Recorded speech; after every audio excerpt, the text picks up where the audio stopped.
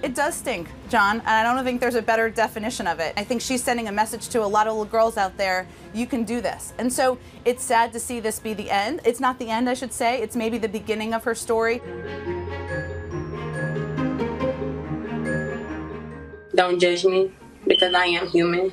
I'm, I'm you. I just happen to run a little faster. Um, I understand there's going to be people that still have something to say that don't necessarily understand